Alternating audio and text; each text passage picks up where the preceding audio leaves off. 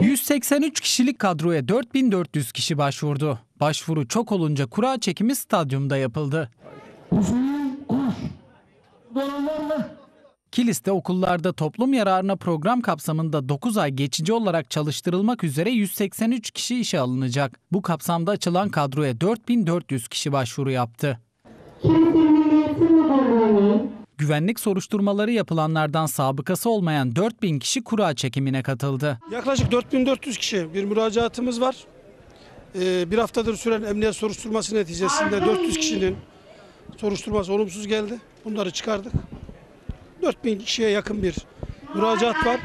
20 kişide bir kişi alacağız. Binlerce kişinin sığabileceği tek yer stadyum olduğu için kura çekimi 7 Aralık stadyumunda yapıldı. Çok sayıda vatandaş sabahın erken saatlerinden itibaren tribünleri doldurdu. Noter huzurundaki çekiliş ekmek kovasına konulan kağıtların arasından yapıldı. Hamide Özkaya. Burada olan varsa ben buradayım diyebilir. Kura çekimi sırasında tribünlerde küçük çaplı gerginlikler yaşandı.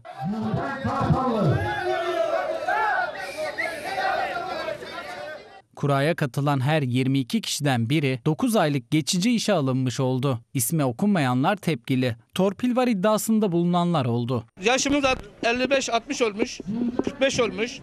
Bir tanesi 5 tane erkeğin içinden çıkan yok. Kuraya inanmıyor musun? İnanmıyoruz kuraya. İnanmıyoruz abi. Torpil yok. Hep çok torpil çıkıyor.